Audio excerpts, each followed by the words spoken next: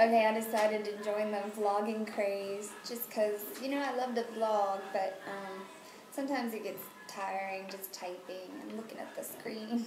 okay, I'm just lazy. sorry.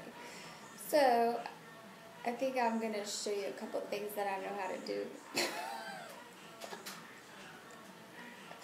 Which isn't much, so pay attention. Okay, ready? Hold on. Here we go.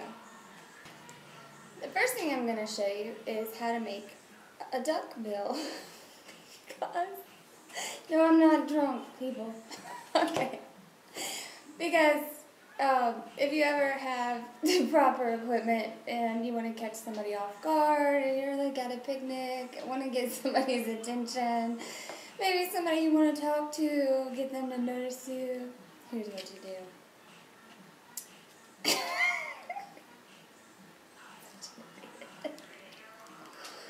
Uh-uh. Mm. Don't cook it. And you can like eat them.